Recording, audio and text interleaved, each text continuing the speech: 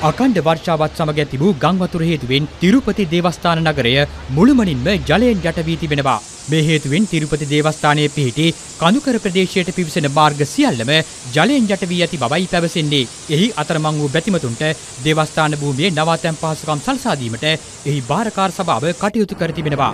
එමෙන්ම සහන කටයුතුද අකණ්ඩව ක්‍රියාත්මක වන බවයි පැවසෙන්නේ.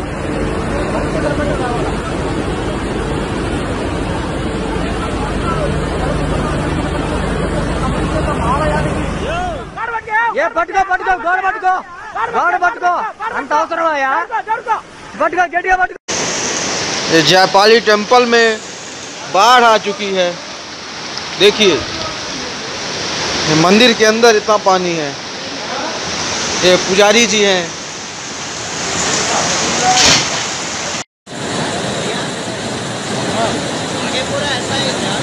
आगे से ऐसा होगा और कितना जाना है